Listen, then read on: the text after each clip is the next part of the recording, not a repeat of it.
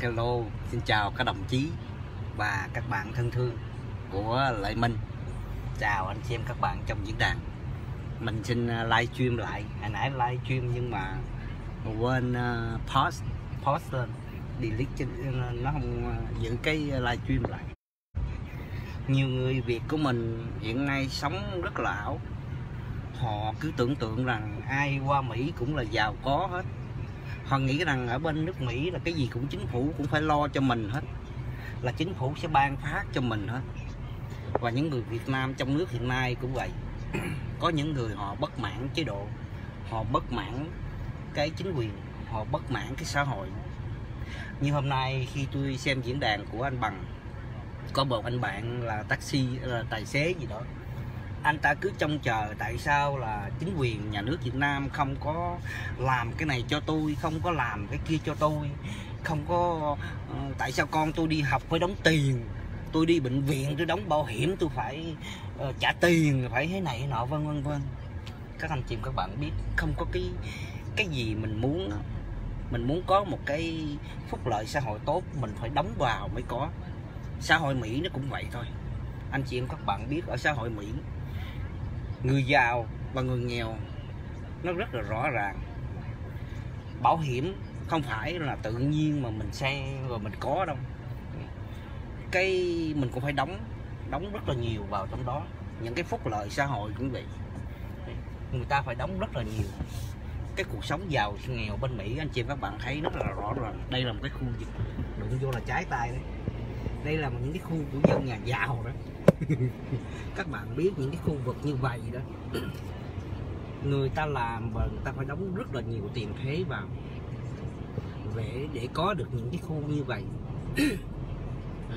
Tiền nhà đất cũng vậy, những cái khu nhà đất như vậy, các bạn biết cất lên đó là chính phủ địa phương họ thu về rất là nhiều tiền thuế.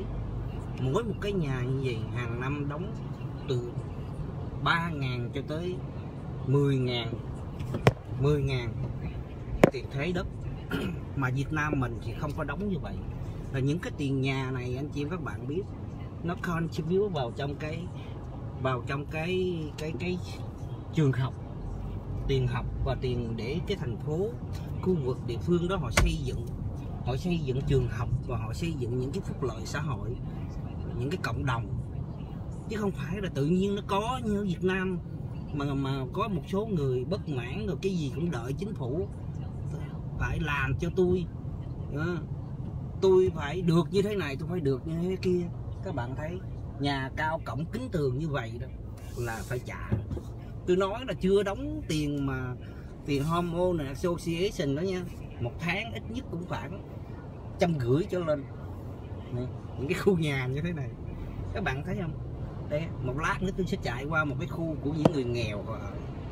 Đấy, những người nghèo họ ở rất là tội nghiệp rất là ờ, vất vả chứ không phải là giỡn. Từ những cái nhà những cái khu vào trong những cái khu dân giàu nó một trời nó một vực.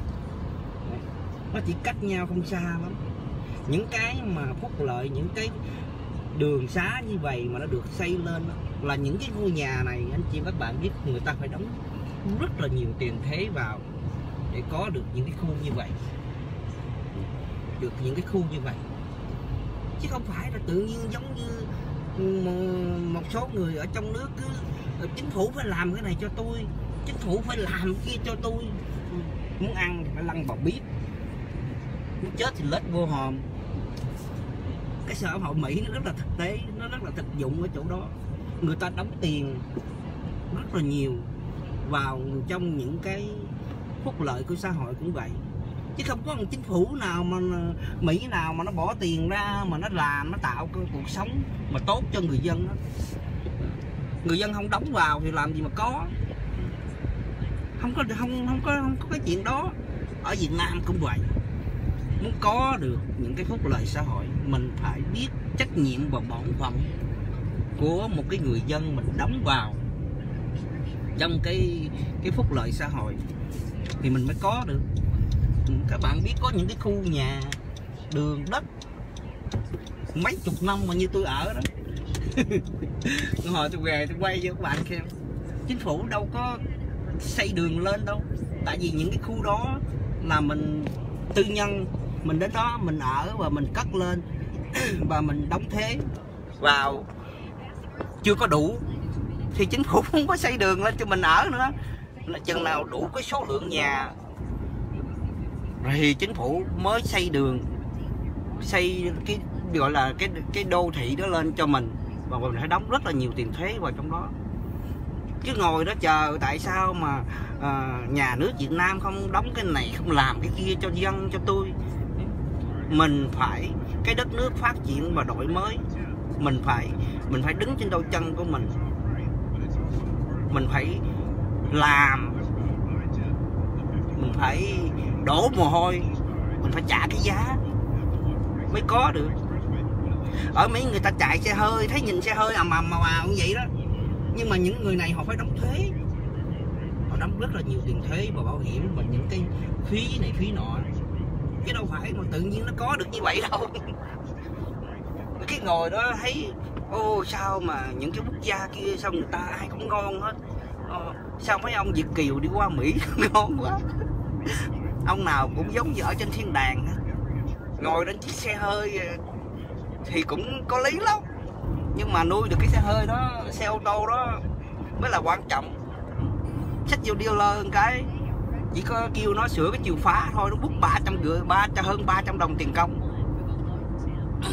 chứ không phải giỡn đâu. Đụng vô cái gì nó cũng tiền hết. Các bạn thấy những cái phúc lợi xã hội, nó không phải tự nhiên trên trời nó rớt xuống. Mà cứ ngồi đó, nhìn thấy cái người cán bộ này sao mà họ giàu quá. Họ cũng phải làm ăn chứ. Có những cán bộ người ta cũng phải làm ăn chứ. Có những người đâu phải người cán bộ nào là cũng cũng cũng cũng giàu ở đâu. Nhiều người người ta cũng làm chết mà có lương lương tháng năm ba triệu. Rồi còn phải lo cuộc sống gia đình nữa nhiều người người ta biết làm ăn thì người ta khá cái ngồi đó ôi sao mấy thằng cán bộ kia nó giàu quá, nó giàu kệ phú quý xin lễ nghĩa bằng cùng xin đạo tặc những người cán bộ, nếu mà người ta giàu, người ta làm những cái công việc mà phúc lợi xã hội, những cái người ta làm những công việc xã hội, những ta làm cái công việc của nhà nước tốt, thì mình quan nghênh, thì mình ủng hộ họ chứ có gì đâu, cái tối ngày nhìn cái sao một cán bộ kia giàu quá. Sao một cán bộ nọ giàu quá. Cái ngồi đó phân bì, không bao giờ khá nổi. Không bao giờ khá nổi. Những hạng người đó. Cứ là tôi phải tôi phải giống như mấy ông đó mới được. Tại sao tôi là dân mà tôi không được như vậy? Mình không chịu làm làm sao mình có? Mấy ông mà chính trị gia bên mỹ toàn là dân tỷ triệu phú không à. chính vì họ có tiền họ giàu có như vậy. Khi họ làm chính trị, họ làm rất là tốt. Chứ còn mà cái ngồi đó, chờ phân bì, rồi mấy thằng mà Việt kiều chống cộng bên mỹ lợi dụng nhảy vô nó cộng sản ác với dân, không có lo cho dân.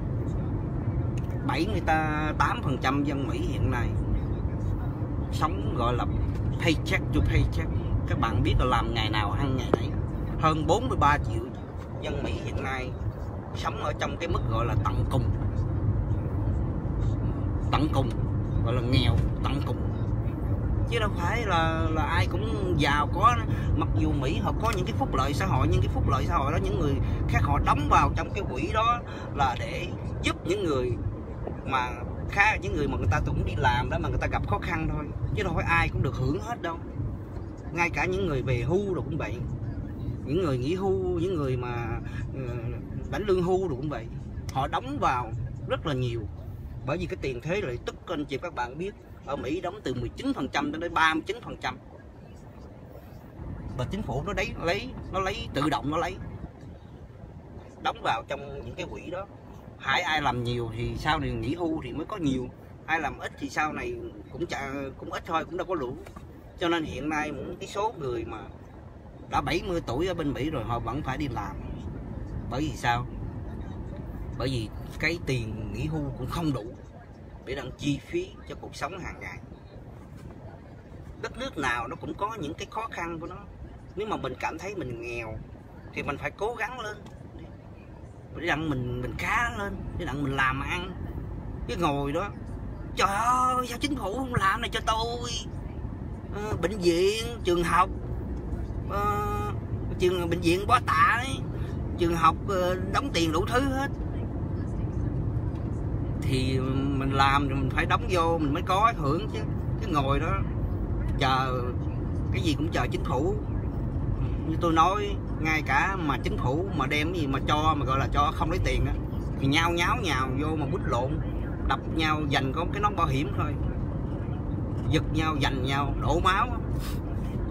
Mà cái nào mà kêu chính phủ mà mà là, là lấy thế một chút thôi là nhảy lên trời ơi cộng sản ác với dân. Mấy mấy chống cộng bên mỹ nhảy vô bắt đầu hùa nhau đổ dầu đổ lửa vô. Rồi bắt đầu cái khóc rồi xuống rồi cứ ra và đứng cả nhảy cả còng cả còng. Ờ, biểu tình. Cái con nhỏ gì quên rồi nhớ cái vụ đó. Nó đi biểu tình mà nó chéo hai cái tay nó nó nhảy cả còng cả còng. Con nhỏ gì tên con hà gì quên rồi con hà gì đó. Mỗi lần mà nói mấy chuyện biểu tình ở Việt Nam mà tôi nói tới con nhỏ đó, mà tôi mắc cười. Mà tôi thấy nó tức cười lần sau đi nó buồn cười. Cái sự yếu thiếu ý thức và vô ý thức khi con người ta đòi hỏi một cái gọi là dân chủ thế này thế nọ mình thấy nó làm sao đi á. Nó nó nó không có thực tế. Bởi vì cuộc sống chúng ta cần phải nhìn cái thực tế. Chào anh chị em các bạn trong diễn đàn nha. Hôm nay tại vì tôi lên diễn đàn của anh bằng nghe có một số các, một một người ở trong nước mà lên cứ ngồi đã than chặt đồi, nào là bảo hiểm, nào là học đường các anh chị các bạn biết, ở bên Mỹ người ta đóng đủ các mọi đủ thứ các loại thế mà người dân họ mới mới có được những cái phúc lợi xã hội đó thôi. Chứ không phải là tự nhiên trên trời nó rớt xuống đâu. Ở Mỹ có nhiều người cũng nghèo bỏ tía luôn. Nhiều nhiều tay mà Việt Nam mà qua Mỹ, tới tháng trả tiền nhà. Tới tháng mà trả tiền nhà còn không có, con thì nhiều nhóc ăn thì ăn phúc lợi xã hội, cuộc sống chăm bề bất vả chứ đâu phải vẫn giỡn đâu. Nhiều khi bảo hiểm đồ vậy, đi vô bác sĩ, nói mỗi tháng mà tôi mua, một tháng mà tôi mua 600 đồng rồi.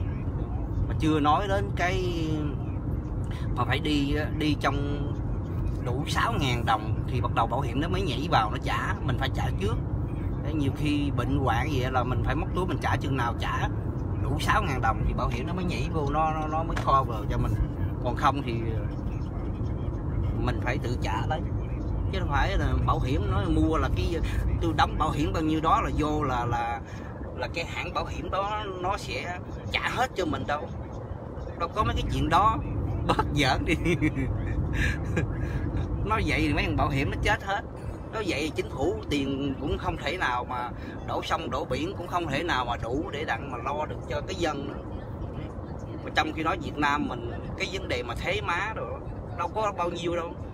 Có đâu có bao nhiêu.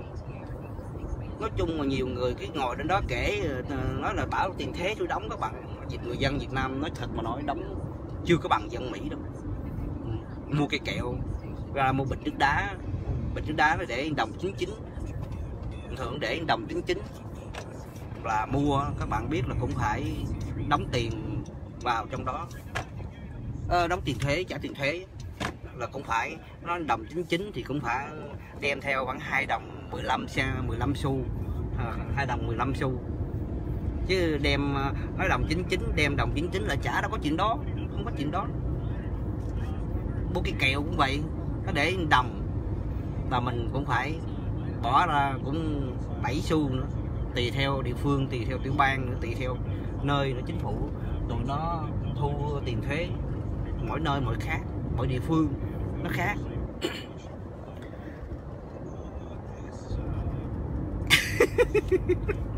Nhìn rau rau chứ dạ nói chung thì anh chị em các bạn tôi thấy có nhiều người ở trong nước hiện nay, tôi thấy rất là buồn. Cái sống lúc nào về đòi hỏi chính phủ phải làm cái này cho tôi, chính phủ phải làm cái kia cho tôi. Mà trong khi đó mình không có, mình không có đóng vào. Mà cứ đòi hỏi đòi hỏi không mà làm sao mà chịu nổi? Hàng Mỹ mà nó nó nó lấy tiền thuế như vậy mà tới nỗi mà các bạn thấy những cái dân mà tứ xứ nó tới nó ăn riết rồi hàng mỹ nó chịu còn không nổi. Tới nỗi mà ông trump ông phải đứng lên ông cãi, ông ông gọi là, ông ông ông cải cách vấn đề mà phúc lợi xã hội ông ép những cái dân mà gọi là trung lưu phải lao động mới có để mà ăn. Cái phủ nó chịu không nổi. Nói chi mà Việt Nam, thằng Mỹ mà nó đóng thuế từ 19 cho tới 39 phần trăm tiền thuế lợi tức đó nha. Chưa nói vấn đề mà sale sale thác. Nó gọi là thế mà thế mà người mua phải đóng đó. Người bán người bán họ cũng phải đóng cái tiền thuế, gọi là thế họ income. Cái tiền thuế mà họ thu về còn cái người mua đó là cũng phải đóng thuế nữa. Nhiều khi mình mua cái món hàng nó nói nói nha cái món hàng nó mua mua cũ rồi cái gì? Rồi giờ tụi chợ nó mua về rồi nó bán lại cái đồ nó mua cái đồ cũ lại nó bán là gì?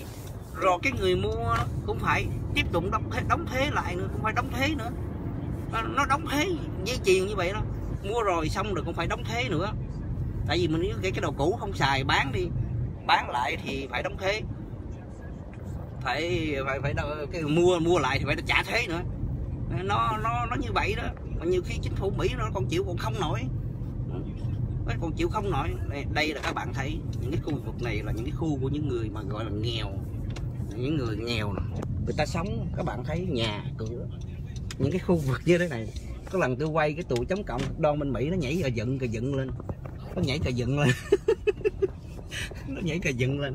Các bạn thấy nhà này gọi là nhà mobile home, hay là manufacture home. Những cái nhà nó rắp ráp rất là đơn giản. Các bạn thấy những cái người ở bên Mỹ, những người người ta nghèo, người ta sống. Không phải là ở Mỹ là nãy tôi đi ở bên cái khu mà gọi là dân giàu đó. Dân giàu họ sống. Nhưng mà người ta vẫn phấn đấu, người ta dương lên, người ta cũng đâu có ngồi đó. Người ta than trách ờ, chính phủ ờ, phải làm cái này cho tôi, chính phủ phải làm cái kia cho tôi. Các bạn thấy những cái khu vực như vậy đó. Tôi từng quay cái này đưa lên mạng, mấy bao que nó gượt nó ra nhà, nó được nó hù, nó dọ các bạn thấy, đây là những cái khu của những người nhà nghèo đó, anh chị các bạn. Người ta sống, người ta tất tần tật. Những cái nhà này nó rất là mỏng manh, nó rất là mỏng manh. Vô cùng mỏng manh. Gió là nó có thể bay đấy. Các bạn biết, đời sống của người ta đó. đâu phải là nó nó như mà mấy ông mà ở trong mà cái ngồi đó chờ chờ ở trong nước cứ ngồi đó chờ ờ, nhà nước phải làm cái gì đó cho mình ăn. Mà các bạn thấy không? Người ta sống như vậy mà người ta vẫn phải vươn lên. Để trời nắng bên đây là các bạn biết, bữa nay 115 độ F, là hơn 40 độ C. Các bạn thấy không? Nhà, cửa, nó rất là đạn nghĩ sao người ta có cái chỗ ở thôi à? người ta có cái chỗ ở để người ta đi làm, để đặng người ta có thể phấn đấu trở lên. Người ta có thể phải vươn lên chứ đâu có phải ai cũng ngồi đó mà trông chờ chính phủ đâu. Trông chờ chính phủ. Làm cái này, làm cái nọ cho mình ăn đâu cái kiểu vậy làm sao mà đất nước khá nổi cái kiểu giống như trong gia đình, nói về trong gia đình như làm ăn mà có một gia đình mà đâm con đâm con đi. Mà hai ba thằng con kiểu đó là coi như là cái gia đình đó cứ nghèo hoài. Cứ ngồi cứ tại chờ cha mẹ, chờ mấy người khác làm gì, tụi bay làm gì cho tao ăn tại vì tao là một thành viên trong gia đình. Các bạn thấy người ta vẫn phải phấn đấu dương lên tôi chưa có đi vào trong những cái khu vực mà thành phố đó anh chị các bạn. Những cái khu, khu vực của trong thành phố. Còn còn thê thảm hơn nữa. Thê thảm hơn. Có những người giờ này trời nắng có họ 115 độ F mà các bạn nghĩ đi. Người ta phải người ta phải đi ở ngoài đường dân liều để rằng mà người ta dân liệu mà người ta sống. Người ta cố gắng người ta vươn lên và vươn lên. Ý là phúc lợi xã hội mỹ nó có đầy đủ, nó có chứ. Không phải là không đó. Nó có đủ thứ cái phúc lợi xã hội hết. Mà cái đời sống có những con người họ cần phải tất tần tật. Các bạn thấy, những cái khu này, những cái khu này gọi là khu low income, là khu của những người nghèo. Chứ đâu phải các bạn nói mỹ không có người nghèo. Thiếu cha gì cả cái nước Mỹ là 40 43 triệu dân Mỹ nghèo tận đáy. 78 trăm dân Mỹ sống hiện nay rồi trong những cái vùng nghèo. Các bạn thấy những cái khu này là những cái khu người ta sống, gọi là dân, gọi là low income. Dân, gọi là họ có đời sống thấp. Họ cũng cố phải, họ phải cố gắng, họ vươn lên. Gia đình người ta mà cũng phải làm để đặng mà vươn lên. Chứ ngồi đó mà chờ chính phủ, là chết cha rồi, biết chừng nào mà khá nổi ngồi đó hỏi cái chính phủ không có chính phủ nào mà nuôi nổi mấy cái thứ đó chứ cái kiểu mà cứ trời ơi tại sao mà con tôi đi học phải đóng tiền? Màng đất ơi. Đâu có ai mà cho anh phi đâu. Anh các bạn thấy không? Đời sống của này người ta vẫn sống như người ta vẫn phải sống để cho người ta vươn lên.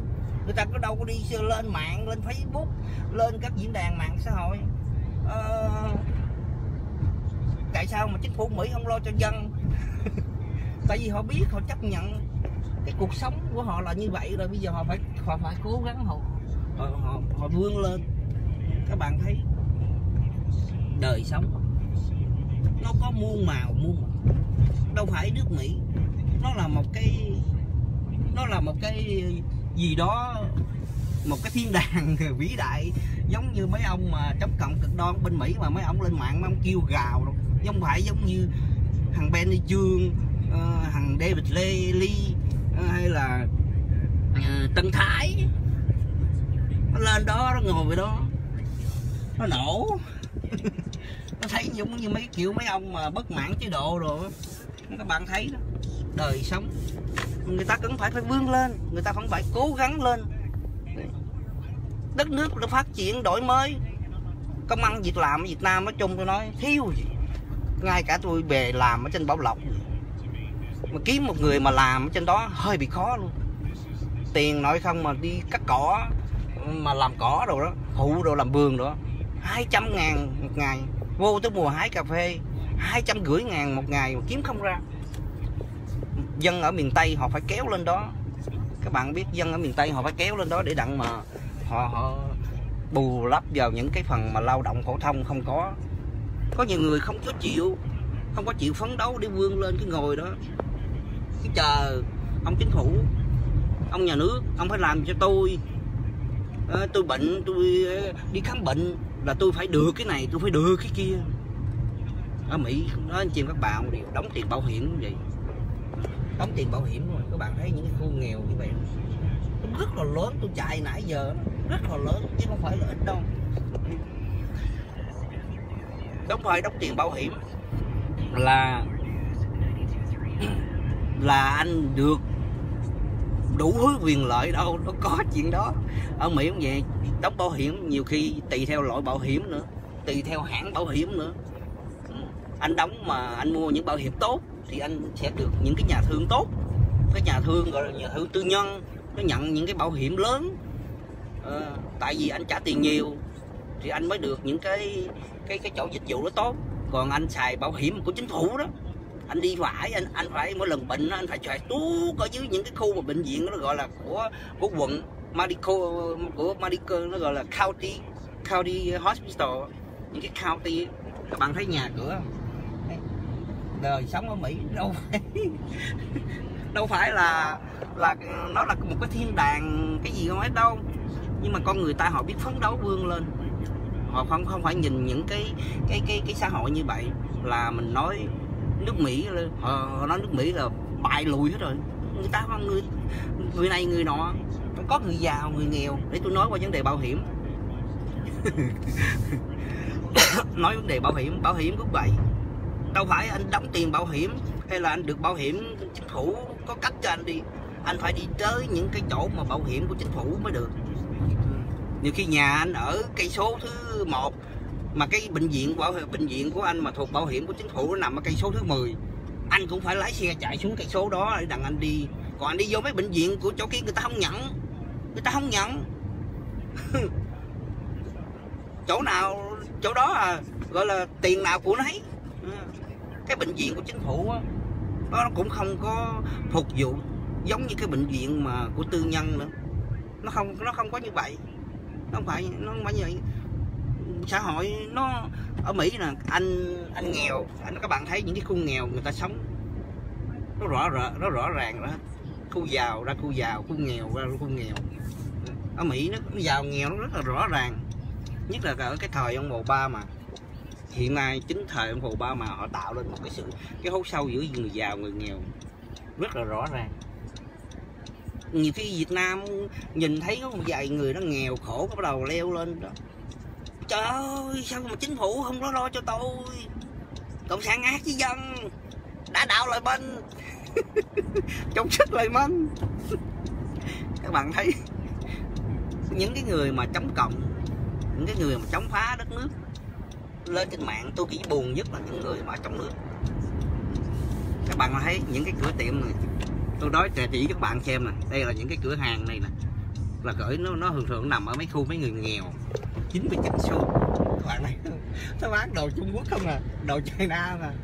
Đồ này các bạn tiền nào của nấy à. xài á nó, nó nhiều khi ờ, mua cái búa cái kèm về dặn một hai lần gãi. Để các bạn đấy đây là những mặt hàng của China nè nó bán á. Đấy 99 sen gọi là mà cửa hàng 99 sen đó vô đó là đồ China. Các bạn thấy đó hàng hả? Nhiều khi hàng hàng gọi là hàng, nói đúng là hàng độc hại á. Hàng mà nhiều khi mua không có rất là nguy hiểm. Tiền nào của nấy à. Mỹ là cái diện về luật pháp nó cũng có kẻ hở thì cũng có những người họ lách luật thôi. Họ làm ăn. Các bạn biết những những cái ở Mỹ, mấy cái tiệm mà cửa tiệm mà 99 xu nó gọi là 9 xu hoặc là đá là nhiều lắm. Hồi xưa đâu có đâu. Tại sao như vậy? Tại vì đời sống nó khó khăn. Xã hội nó khó khăn. Càng lúc nó càng khó khăn. Nói chung là ảnh hưởng chung toàn cầu mà. Chứ đâu phải Việt Nam không đâu. Mỹ.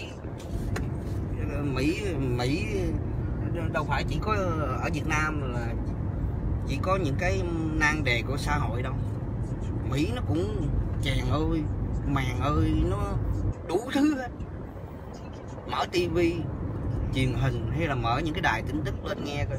Mỹ nó nói hàng ngày, hàng giờ, hàng phút về những cái vấn nạn của xã hội. Về những cái vấn nạn, về những cái nan đề của xã hội. Chứ không phải là không. Không phải giống như mấy ông chống cộng ở cực đoan ở bên Mỹ lúc này tôi không muốn dùng mấy chữ ba que tại vì có anh Peter. Anh kết bạn với tôi. Tại vì tôi thấy ảnh là người của chế độ cũ. Nhưng mà ảnh rất là là là ảnh rất là đàng hoàng. Cho nên tôi nể những người đó. Tôi không muốn quá cực đoan với những người mà gọi là chống cộng cực đoan tôi dùng cái chữ uh, tôi nên tôi không muốn dùng cái chữ ngụy hay là chứ bao que nữa. Tại vì nhiều khi mình cũng nể những người đó, người ta có những cái tấm lòng yêu quê hương đất nước, người ta là những người của chế độ cũ, người ta dám nhìn vào sự thật. Hay là có những người mà con cháu của chế độ cũ tôi thấy dạo này người ta cũng lên tiếng nói để phản đối những thành phần mà chống cộng cực đoan ở hải ngoại. Tôi thấy đó là điều rất là tốt. Ừ, mình cần phải nói lên những cái sự thật. Không nên lấp liếm tại vì mình sống ở một cái đất nước, một cái quốc gia văn minh, nhân bản, thì mình cần phải chia sẻ những cái đó ra để cho bà con, đồng bào của mình hiểu được, nhìn ra những cái sự thật để họ hiểu về đất nước Hoa Kỳ. Chứ không phải lên trên mạng này rồi lấp liếm rồi quay về Việt Nam rồi gỡ trò những mất dạy như thành phần bao chống thành phần chống cộng cực đoan giờ vỡ trò gọi là côn đồ, thở ra, tao giết mày mày ở đâu vậy? Địa chỉ mày ở đâu vậy? Cái đó, dân chủ kiểu gì kỳ vậy? Đấu tranh kiểu gì kỳ vậy? Đấu tranh kiểu gì người ta nói là không theo, nó của đường lối của mình mình quay ra nhà mày đâu vậy? Thằng này phải diệt nó. Kiểu côn đồ mất dạy, cái kiểu đầu đường xó chợ vẫn là tưởng đâu đụng với lợi minh này là dễ à. Đụng với cộng lông chân của nó còn chưa được pháp luật của mỹ của bay dám chơi với lợi minh à. Của bay chơi với lợi minh là lợi minh chơi pháp luật. Bạn lấy gì rồi, mấy cái thằng mất dạy kéo cả một cái lũ. Ra mày cộng đồng ra rồi nào hù dọa. Hù dọa tùm lum hết. Giờ cảnh sát FBI sờ gái tụi mày. Tụi mày làm được gì đâu. Nói chung ở Mỹ chúng ta là những người ở Mỹ. Chúng ta hiểu biết pháp luật. Chúng ta học những cái hay, những cái tốt của Mỹ. Chúng ta cần phải chống lại những cái luận điệu xuyên tạc của những người chống phá đất nước. Không thể nào chấp nhận được. Mỹ và Việt Nam hiện nay là những, có những phái bộ ngoại giao ở những cái cấp gọi là rất là cao. Người ta đến Việt Nam cùng chung nhau xây dựng một đất nước nó ngày một tốt đẹp và hoàn thịnh hơn trong cái cuộc kháng kháng chiến mà gọi là thống nhất đất nước Việt Nam. Mình, những người dân Mỹ, họ cũng là những người bạn. Họ cũng có góp phần để đặng mà thống nhất đất nước đất nước Việt Nam mình. Cho nên đó, chúng ta với những người Mỹ luôn là những người bạn. Chúng ta chống lại chính quyền Mỹ, chống lại những cái cách hành xử của họ, phản đối những cái hành xử của họ hàng phản đối những cái mà họ, đường lối họ đi không đúng đắn với lại Việt Nam. Nhưng người Mỹ những cái tính văn minh và văn văn văn bản của họ. Họ vẫn là bạn của mình trong mọi thời kỳ. Các bạn nên nhớ gì ngày hôm nay, Việt Nam mình là một phần của cộng đồng quốc tế, cộng đồng thế giới, cùng chung nhau sống và xây dựng đất nước. Ngày một hoàn thịnh và đẹp hơn. Chứ không phải giống như cái lũ chống cộng cực đoan côn đồ bên Mỹ, mất dạy. Bây giờ lại có một cái đám mà lũ mà gọi là nổi dậy trong cái đám giặt cỏ trong nước. Và đặt bây giờ cũng ăn theo ăn theo mấy cái thằng mà mà chống cộng ờ, cực đoan bên Mỹ, nó tuyên truyền, nó xạo trá, nó bị bợm. Cái ngồi đó trong chờ. Ừ. nhà nước phải làm cái này phải làm cái kia. Tôi thấy rất nhiều người ngộ. Ngay cả lên mạng thì họ than vãn về vấn đề học đường rồi. Tôi thấy nó làm sao đi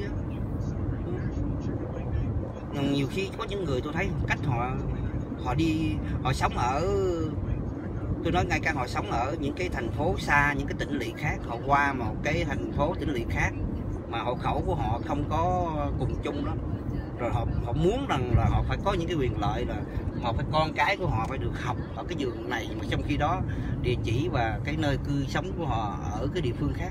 Nói chung như anh chị các bạn biết, ở Mỹ nó cũng vậy đấy. Như như nhà tôi ở cái thị trấn đó mà tôi sang cái thị trấn khác mà tôi xin trường học đó, nó không có cho ngay cả cái địa phương mà hàng năm con tôi mà nó đi học đó, hồi xưa đó là tôi phải đem cái biêu điện cái bill cái hóa đơn của của của của điện đó, hay là nước hay là điện thoại để chứng minh hay là tôi ở cái địa chỉ đó nó mới cho con tôi đi học ở cái trường ở địa phương đó.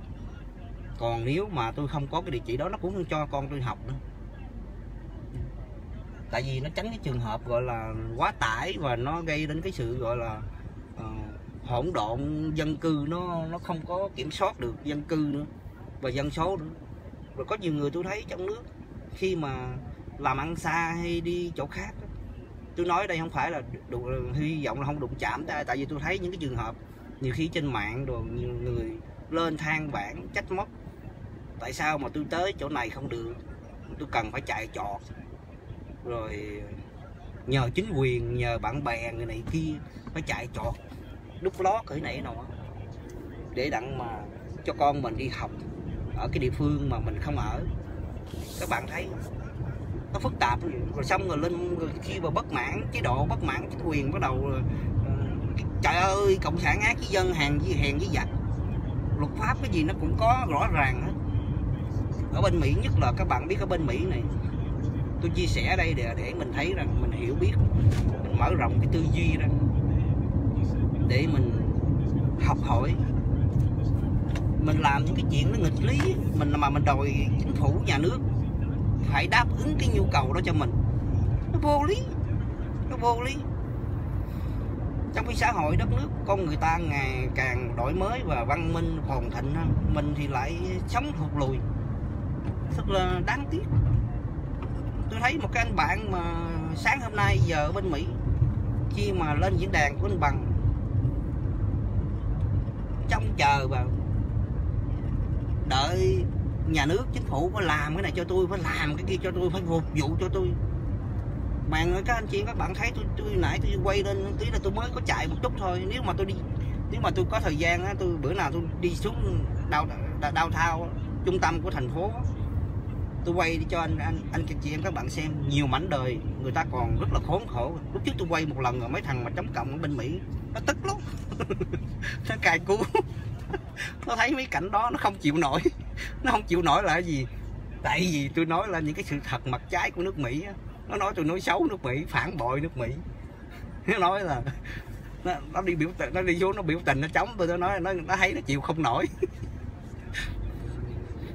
Nó nó sống trong sự ảo tưởng các bạn thấy nó rất là ảo tưởng. Trong khi đó quay về Việt Nam à, cái gì cũng chê hết. Cái gì cũng cái gì cũng cũng chế chân á. Mà cờ nó buồn cười rồi bệnh hoạn đồ vậy nữa. Ăn, à, ăn ung thư. À, mà trong khi đó tôi thấy vấn đề mà lên thống kê Việt Nam á vấn đề mà Việt Nam mà bị ung thư rồi một cái số nó cho ra những cái nước phát triển thì Việt Nam một số phải nói là khiêm nhường thằng Hiển là cái thằng mà vấn đề mà ngộ độc thực phẩm, nó cũng hơi bị dữ dằn nữa. Chứ không phải là là là là nó như thiên đàng đâu, như bức một bức tranh vẽ mà những người mà chống cộng cực đoan bên Mỹ họ vẽ đâu. Đời sống ở Mỹ mà có thật với ừ, đồng tiền đi trước, đồng tiền khôn thôi. Cái gì cũng vậy, phải chịu khó làm. Anh làm, anh mới có được, anh hưởng thụ anh mới được hưởng. Ừ, anh làm mà không phải là anh làm, anh phải đóng góp vào nữa. Chứ không phải anh làm rồi anh có rồi anh được hưởng hưởng không vậy đâu. Tôi nói là anh phải đóng góp đóng góp vào trong đó. Ừ, anh muốn có những cái khu nhà biệt thự sang trọng, hoành tráng, anh phải đóng tiền vào trong đó. Ừ, đường xá cũng vậy. Anh phải đóng vào những cái cái lệ phí anh phải đóng những cái đồng tiền thuế vào trong đó. Những cái khu nhà hồi nãy tôi đi vào đó anh chị các bạn biết. Nói mà tiền gọi là tiền home owner association cái tiền mà ờ, các bạn biết như khu phú những cái khu chung cư hay nhà ở Việt Nam mà ờ, những cái khu mà như phú mỹ hưng rồi những người ta ở đó người ta phải đóng cái tiền mà bảo trì bảo dưỡng rồi đó.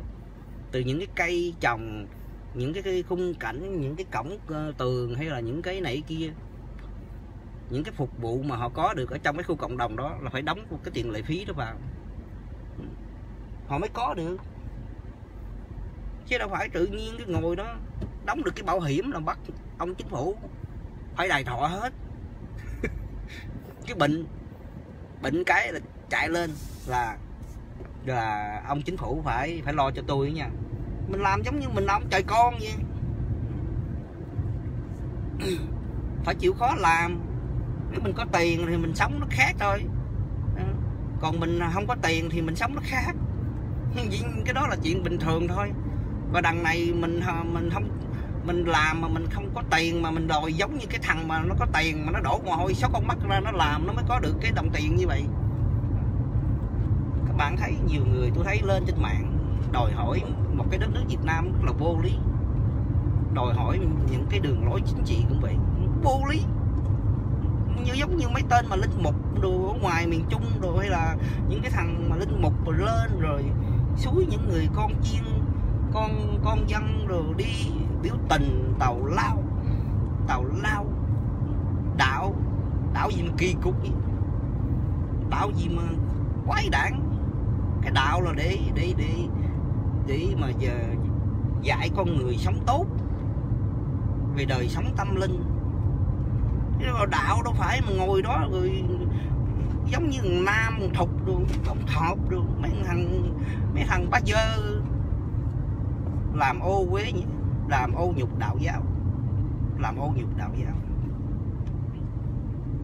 Thiên chúa không có không có dạy những người mà chăn bày đi làm mấy cái chuyện đó. Không có bao giờ. Tôi nói mấy thằng mà cha đạo mà gặp tôi là nó chỉ có sách dép nó chạy thôi nó mà nói chuyện mà vấn đề mà, mà tâm linh thì thần học đó. tôi kêu nó mở quyển kinh thánh nó chỉ cho tôi. Hoàn toàn không có. Các bạn biết thiên chúa không có kêu con người đi ra và kêu làm chính trị nữa. Không có. Mấy tụi mấy thằng cha đạo nó chỉ làm lợi dụng thôi. Ở sách tăng ước. Roma, Roma chương 13 các bạn biết. Nó nói rất là rõ ràng. Người người con dân người con chi người con dân của công giáo đó các bạn biết là phải thuần phục cái chính quyền nhà cầm quyền mình phải thuần phục. Chứ không phải mà cứ ngồi đó tầm bậy đầm bạ suối đi trong xuống đường dân cờ làm cái chuyện mà nghịch lý. Làm ô danh đạo giáo làm ô danh đấng chí cao. Rất là nhục. Cái tụi này, đồng tiền của nó làm cho nó bị đảo điên. Nó ăn mấy đồng tiền của mấy thằng hải ngoại, chống cộng, cực đoan. Làm cho nó bị ngu hết. Nó ngu muội. Bởi vì tại sao mà công giáo ngày một cần đi xuống? Tại sao mà công giáo có một cái nhóm gọi là công giáo cải chánh? Ở đây tôi không phải đả kích đạo hay gì tại vì tôi là người tin lành. Tôi hiểu đạo. Tôi hiểu kinh thánh rất là rõ. Thì tôi có học thần học cho nên tôi biết. Tôn giáo không có trong cái cái kinh thánh gốc, tại người tin công giáo đó, và người tin lành họ cùng có chung một cái quyển kinh thánh mà ở bên công giáo thì họ, người, những người công giáo họ không có được học cái cái bản gốc. Họ học cái bản mà sau sau lại của người, của những ông mà linh mục của giáo hội La Mã. Họ chép lại. Họ chép lại theo cái kiểu của họ để họ manipulate những cái người mà con chiên những người mà đi theo đạo. Những người mà theo đạo bên công giáo họ không có được học những cái bản những cái bản gốc nhất là họ không có học về những cái thần học. Nếu mà họ học về thần học mà hiểu họ hiểu về về cái quyển kinh thánh mà gốc đó, thì họ tôi bảo đảm các bạn họ sẽ chống lại mấy ông linh mục. Họ sẽ chống lại tại sao ông Martin Luther, ông chống lại mà ông Đức Giáo Hoàng? Bởi vì ông học kinh thánh, bản gốc, bản tiếng He Hebrew. Tiếng gọi là tiếng Hebrew các bạn biết, người ta hiểu được cái giáo lý căn bản, đạo giáo, cái tôn chỉ của tôn giáo nó nó nó nó nó thần quyền như thế nào. Trong kinh thánh không có dạy con người ta đi bạo loạn. Còn quyển tân ước không có. Chỉ có mấy thằng cha đạo, bá giờ đi làm mấy cái chuyện bậy bạ. Các bạn thấy tại sao mà ông Martin Luther, ông ờ, ông ông đi ra, ông ông gọi là cải chánh? Bây giờ có nhóm công giáo gọi là mới, bây giờ gọi là công giáo cải chánh. Cho nên rất là đau lòng những cái chuyện xã hội trong một cái đất nước ngày hôm nay đất nước đã, đã và đang đổi mới. Cái cơ hội của mình cái sự hiểu biết của mình có bao nhiêu đó thì mình làm được có nhiêu đó thôi mà mình đòi chính phủ nhà nước phải phải làm cho mình đi tuốt trên mây. Làm làm sao mà có cái chuyện đó được? Đóng thế tôi nói Việt Nam người dân Việt Nam mình trong nước các bạn là những người đang được thừa hưởng một cái xã hội một cái đất nước một cái quyền tự do dân chủ rất là tốt đẹp luật pháp Mỹ mà áp dụng trên đất nước Việt Nam. Dân Việt Nam chỉ có ngồi đó khóc mà kêu trời thôi. Tôi nói từ mọi cái gì cũng vậy. Cất cái nhà xây cái chuồng cái chuồng gà tôi nói xây một cái gì uh, trong cái khu mà giật mà mình ở đó mà cũng phải có xin phép. Chứ không phải là muốn làm gì là mà làm. Muốn tự ý thì sao tự ý. Về luật giao thông cũng vậy luật lệ nó nó rõ ràng, đâu qua đó. Chứ không phải kiểu mà rồi ra tòa rồi cũng vậy. Không phải mà đứng ở dưới đó rồi lụm đá trội rồi phan ngầm mầm nữa. Chẳng giống ai chẳng giống ai hết. Chẳng ra hệ, ra một cái hệ thống gì cả. Mà hãy lên mạng ngồi. Có được cái mạng xã hội lên đó bắt đầu ngồi. Trời ơi, cộng sản ác không có lo cho dân nói tới mấy cái khúc này là tôi mắc cười. Mắc cười là tôi nhớ mấy thằng trong cộng kia luôn đá đảo lại minh. Trục sức lại minh. Bà nội cha nó mắc cười được chứ. Tôi nhớ ở đâu lúc trước mà tôi quay về là tụi nó tụi nó tìm đủ mọi cách nó dí tôi mắc cười nữa nè. Các bạn thấy đó. những cái khu đất như vậy, tôi sắp sửa tới cái khu đất này cho các bạn coi. Những khu đất như thế này nè. Tại vì nhà cửa ở đây, khi mà người ta chưa có đóng thế đó, thì chính phủ nó chỉ đi là, nó làm những con đường tránh như vậy thôi, những con đường tránh như là những cái con đường là đường lớn, đường tránh để cho người ta đi. Nhưng mà khi vào những con đường phụ đó, những con đường mà nó chưa có được mà người dân đóng đóng thế đóng thế đó, thì các bạn thấy. Đây, những con đường như vậy những đường này thường là dân tự động tự làm. Dân họ đổ đá. Họ mua những cái loại đá, các bạn biết, những cái con, những cái mà con đường mà chính phủ nó đi sửa đường đó, cái nó cào cái lớp trên ra. Nó cào ra. Nó cào ra cái miếng những cái khu dân vậy nè. Cái họ họ họ họ mua. Họ mua một lần một xe một xe mà loại là xe tải lớn gì đó. Cứ nhiều vậy đó, về đổ. Đây các bạn thấy không? Tiền nào của nấy à. Đấy. Chứ đâu phải đâu. Còn những cái khu mà nó khang trang, nó hoành tráng mà người ta đã đóng tiền vào trong đó rồi. Người ta đóng tiền thuế đồ đông đó, cho nên hàng chính phủ đó, nó phải men mình những con đường đó. Và những con đường đó nứt ao gì nó phải sửa chữa. Còn những con đường như vậy là dân phải tự làm hết. Các bạn thấy? Dân phải tự làm đó chứ không có ngồi đó mà than khóc. Trời ơi chính phủ phải làm lại cho tôi. Tôi cất cái nhà lên rồi phải làm con đường cái cầu cho tôi. Không có. Các bạn thấy không? Không có không có chuyện đó. Không có chuyện đó. Mà người dân mỹ người ta hiểu được trách nhiệm và bổn phận của họ. Tại vì tôi muốn sống như vậy. Tôi muốn sống những cái khu như vậy đó. Tôi thích như vậy. Tại vì nó nó nó, nó dân dã nó nó không có ồn ào mà, mà tôi tự túc các bạn thấy ổ gà ổ chó ổ lum lum chân ba mấy thằng chống cộng nó ghét luôn. Quay về những cái đời sống xã hội bên Mỹ nó đâu phải giống như mấy ông ờ, mà, mà chống cộng lên trên mạng rồi hô hào. Các bạn thấy không? Đời sống nó như vậy đó. Ngay cả một con đường hay bất cứ gì vậy là mình phải tự làm hết mình phải tự làm hết chứ không phải là ông nhà nước ông ra ông làm cho mình đâu các bạn thấy đó. Đường xá, mấy những con đường này gọi là những cái này là những cái, như tôi nói đó, là đất này là người người ta mua mua là tại vì mỹ nó sửa đường cái nó cào cái mặt trên lên. Nó nó cào cái mặt trên lên rồi nó nó mới ờ, nó mới, cái này là người ta mua lại mua lại rẻ lắm. Chỉ có khoảng 15 đồng tấn 15 đồng tấn các bạn thấy đó Mỹ đâu phải cái gì nó cũng giống như là những người mà chống cộng rồi lên trên này hay một số những người trong nước cũng vậy. Đòi hỏi người Mỹ người ta hiểu được như vậy người ta sống người ta chấp nhận như vậy. Người ta vẫn sống thôi người ta đâu có ngồi đó người ta than trách. Rồi chính phủ phải làm cái này phải làm cái nọ làm kiểu mà sống như vậy đất nước làm sao mà khá nổi tiền đâu mà đổ cho nổi. Nổi không mà tiền mà để xây dựng tổ quốc để đặng mà mà mà mà, mà quốc bên quốc phòng rồi thôi. Tốn kém khủng khiếp nó phải giỡn đâu.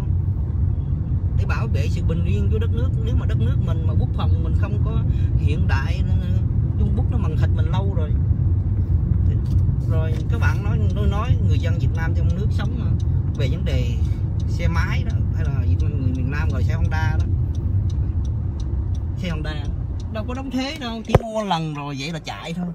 Còn bên này hả chiếc xe bất cứ một chiếc xe gì lăn bánh trên con lộ là anh phải đóng thuế và anh phải làm đúng cái luật của bộ bên bộ giao thông vận tải anh chị em các bạn thấy không? Những cái khu nhà như vậy.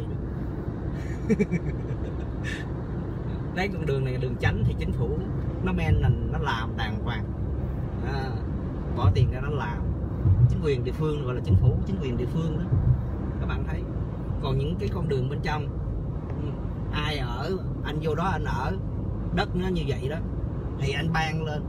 À, anh tự cất lên rồi anh ban anh sống chừng nào đông đủ hết cái số lượng nhà thì chính phủ họ mới họ mới đứng nó mới lấy thuế mà nhiều lên lấy thuế nó tăng thuế tiền nhà lên thì người ta mới có được uh, những con đường nhựa như vậy.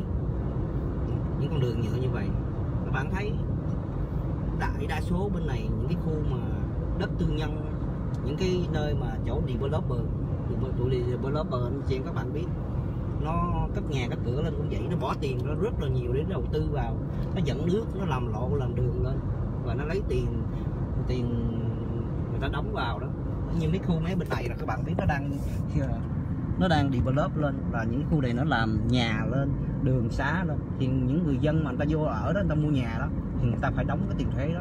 Thì các bạn nghĩ đi khi mà đất đó nó được đưa lên thì những tụi nhà đầu tư nó bỏ rất là nhiều tiền của vào để đặng mà nó nó nâng cái hạ tầng cơ sở lên. Cho người dân họ có cái cái những cái đường lộ đâu qua đó.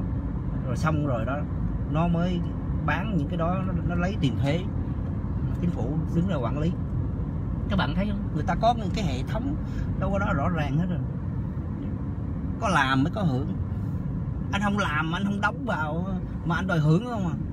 Anh nghĩ, anh làm ờ, ra được năm ba đồng là năm mười đồng, lọt đầu là anh phải bắt ông chính phủ phải là phải phải phải tận tình lo anh đi vô trong vùng sâu, vùng xa nở là phải xây cầu, xây đường, kéo điện thoại, kéo điện vô cho anh. Không dám đâu. Không có dám đâu. Như cái nhà tôi tôi cất làm các bạn biết kéo cái trụ điện vô là 20 ngàn đô. Là mười mấy năm về trước tôi kéo đó nha, bây giờ còn hơn nữa.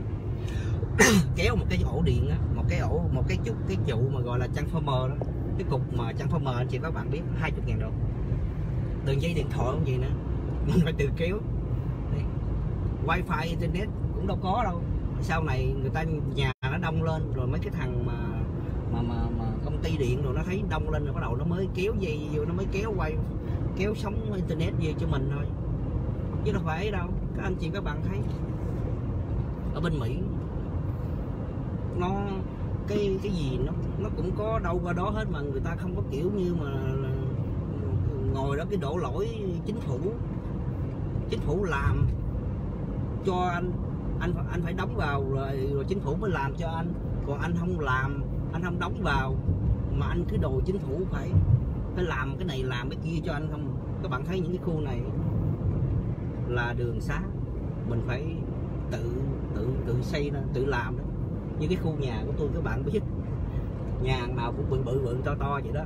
Nhưng mà đường xá rồi, tất cả mọi thứ mình phải tự làm ông, ông chính phủ cũng đâu cũng nhảy vô cũng làm đâu. Đấy như là bây giờ các bạn thấy như nó quẹo vô nè. Đây, thay gì hay gì cái này là phải xây cây cầu. Ông chính phủ cũng đâu có xây gì. Ông phải đổ ông cống xây cầu đâu có tại vì cái khu này mình chấp nhận mình vô mình ở như vậy. Đó đường này là là bạn thấy ổ gà ổ chó tụi lâm chưa đất đấy, là mình phải tự tự làm đường đấy. Cái này là mình phải tự mua làm đấy nhé các bạn thấy thằng nào như thằng này nó mới cất lên, nó có tiền, nó mới đổ ờ, lại con đường. Thì nhìn cái khúc này còn lịch sự chút. Các bạn thấy không? Như thằng này nó mới cất thì nó đổ con đường, nó xây cái con đường nhìn lịch sự một chút. Còn mấy thằng này nó ở lâu rồi, đường chạy giết mòn rồi. Bây giờ ờ, ờ, mấy thằng bên này nó vô nó ở nữa, nó không chịu bỏ tiền ra, nó phụ để chạy cha nó, cứ để vậy thôi. Đó. Các bạn thấy không? Cái này là chính phủ nào vô làm cho mình? Tại vì mình chấp nhận mình sống như vậy mà. Đâu cứ ý là tôi ý là bên này là tụi tôi đóng tiền tiền nhà tiền thuế đâu phải là rẻ đâu. Ý là đóng thuế bạc mạng á. Đâu phải là, là là giỡn đâu. Các bạn thấy đó, mà đời sống của mình nó như vậy đó mình phải chấp nhận đó. Chứ đâu phải mà cứ, cứ cái gì cũng trời ơi cộng sản dân hèn cái giặc đã đào lại mình. các bạn thấy cái chỗ của tôi như vậy là đỡ nha. Tại vì ở đây là, nha, ở đây là mình à, mình mình ở vậy là đỡ nha. Tại vì mình từ bờ tự ra mình xây á. Còn các bạn biết. Các bạn thấy đường xa nó như vậy thôi. Cuộc sống mà. Còn mấy khúc bên kia đường còn tệ rồi nó còn, nó nhảy nó nhảy như là xe ngựa vậy đó.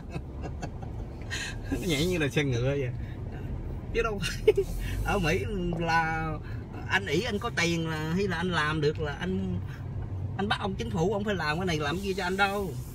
Không có chuyện đó. Không có. Để tôi chạy lên trên này cho anh chị các bạn coi cái khu chỗ tôi còn đỡ nha. Là các bạn tôi ở đây mấy chục năm rồi đó. Mà mà ông chính phủ không có làm đâu. Mình phải tự làm hết. Nên mình phải tự làm.